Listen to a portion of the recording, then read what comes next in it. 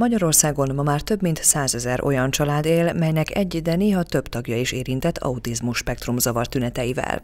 Ezért kezdett el kiépíteni egy vidéki irodahálózatot az Autisták Országos Szövetsége. A Pécsi Infopontot online nyitották meg a koronavírus miatt.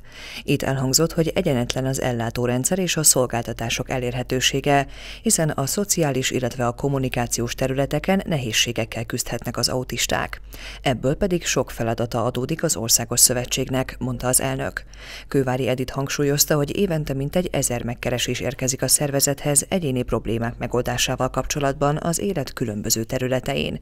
Éppen ezért két fő cél tűzött ki a szövetség. Az egyik az, hogy ezeknek a családoknak egyéni segítséget nyújtsunk, más, másrészt pedig azokat a tudásokat és jó gyakorlatokat, amelyeket ismerünk és léteznek, Magyarországon vagy külföldön, azok, azokhoz segítsünk hozzájutni azoknak, akiknek ezt tudni kell és alkalmazni kell az autista személyeknek a beilleszkedése érdekében. A vidéki irodák megnyitásával kiterjedtebb lehetőség nyílik a helyi igények, szükségletek feltárására.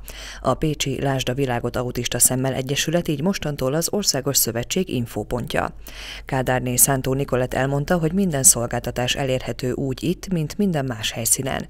Kiemelte, hogy nemrég új szolgáltatással bővült a kínálat. Tudjuk sorakoztatni például egy adott napirendet, vagy különböző folyamatábrák, mint például egy kézmosás. Ez a data rendszer, illetve a data ennek lettünk mi a központja, a Pécsi Ausztinfopont iroda is a helpdesk munkákat végzi.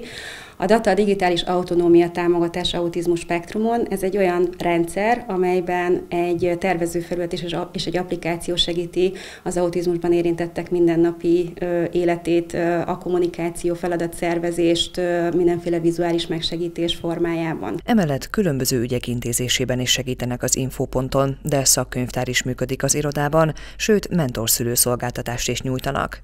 Hétfőn, kedden és szerdán kereshetik fel a pécsi kirendeltséget az érintettek a Mátyás Flórián tér kettes szám alatt.